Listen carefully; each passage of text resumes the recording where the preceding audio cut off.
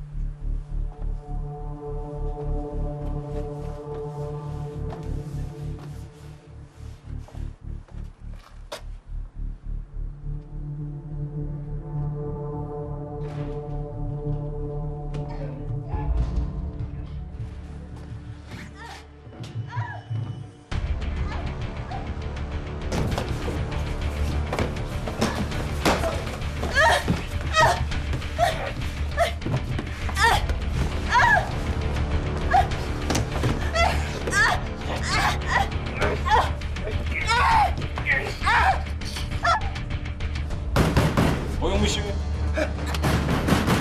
용미 씨.